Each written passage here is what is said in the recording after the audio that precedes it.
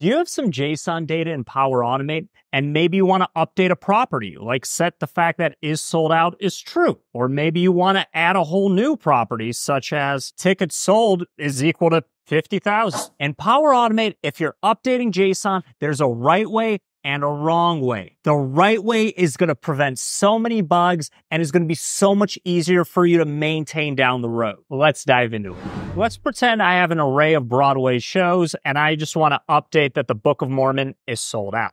The wrong way to do it is you come in here, add an action, and you pick the select.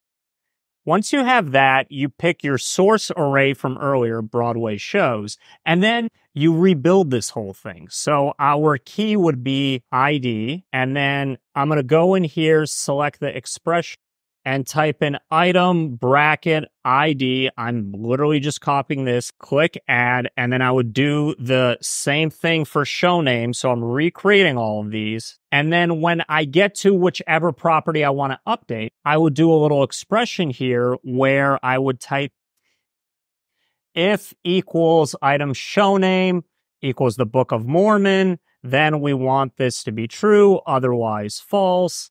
And then I would click add. And this is fine. It works. I can click save. And if I actually run this and open up the select, here's my original input. And if we scroll down to the output, yay is sold out is true. Now, the reason I explained all of this so fast is because I want to hurry up and show you the right way. Here's the problem with this. Let's say you're not in control of this source JSON and the other developer who's working on this decides to add a new property like category. So now because they've added a new category and you're recreating all this, if we save this and we rerun it, if we open up our select, we'll see there's our category. But once we go to our outputs, look, we lost that category. We're losing data. So let's look at the right way to do this so we can preserve the original array. I've removed everything from my select and I'm going to come over here into this button and select switch to text mode. And then I'm going to select the expression. Now select is awesome because it's stepping through each one of our items. So in here, when it steps through our items, I want it to set a new property. In this case, we have to pick our original object. We first have to type in the source. The source is just item. What's the name of this new property? It's called is sold out. If equals item. The show name is the Book of Mormon. Then do true. Otherwise, you could do false, or a better practice is to type in whatever the current is sold item value is. Click add. And if we go to our runs and I open up select, here's my original. But then if I scroll to the bottom, Hamilton is sold out is false. It's added the property and boom, is Mormon is sold out true. Big thanks to DamoBird for originally showing me this method. Be sure to subscribe to him. He's almost at 10K subscribers. Link in the description. This method is perfect in 90% of contexts, but you may need to sometimes take out the object or the item from the list and then go do some modifications to it. Here's a way to accomplish that. First thing I'm going to do is delete my select and I'm going to add a new action. And this one is going to be the filter. So I'm going to filter just for that Book of Mormon. So I'm going to hit Broadway shows.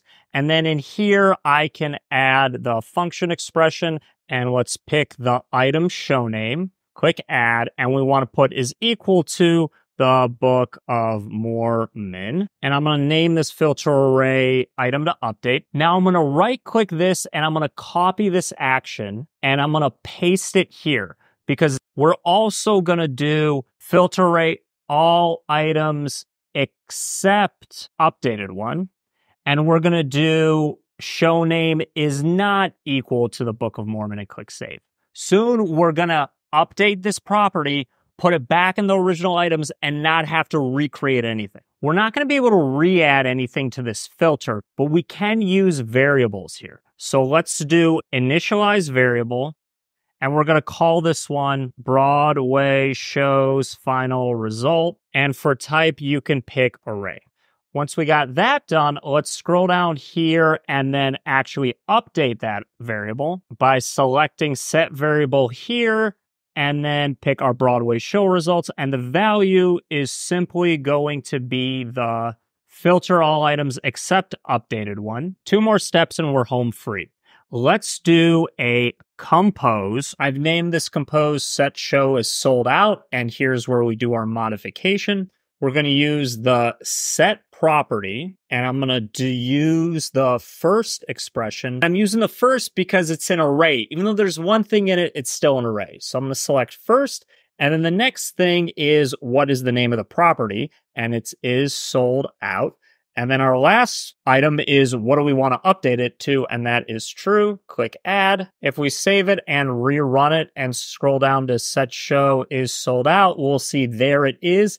Category was preserved. And here's our updated property value.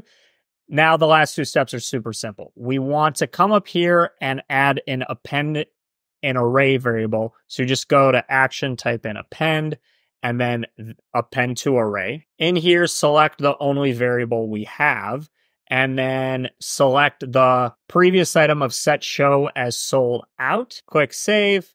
And then just as a sanity check, I made a brand new compose and just put our variable in it.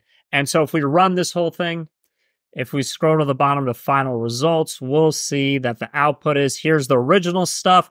All the categories are still there, and Book of Mormon is equal to true. So now you never have to worry about someone else updating the source data because whatever it is, all we're doing is modifying this one property. I hope that helps you. If it did, please subscribe or connect with me on LinkedIn. I'd love to say hi. Take care.